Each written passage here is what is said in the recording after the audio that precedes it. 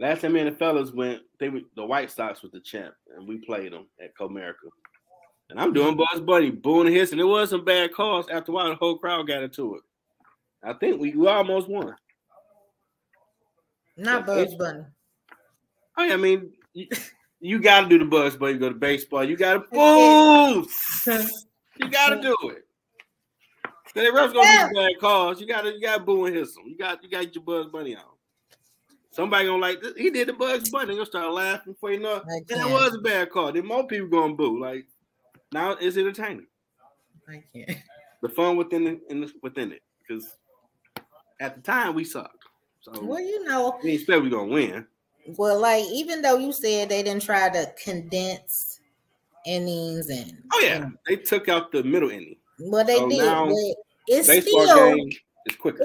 Well when I looked at the latest analytics, they still